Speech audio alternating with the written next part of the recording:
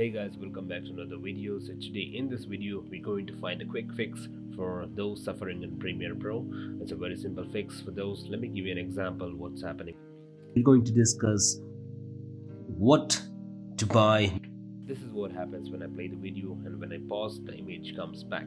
So basically this happens for any of the two reasons. One is something is running in the background as a video playback. For example if it's in a browser Chrome or Edge. If you're turned on the hardware acceleration you just gotta go disable it go to settings and performance disable the hardware acceleration. But the main reason your viewing angle is not the right one. So I'll quickly go. Here I'll make it as a fit and here I make it as a full.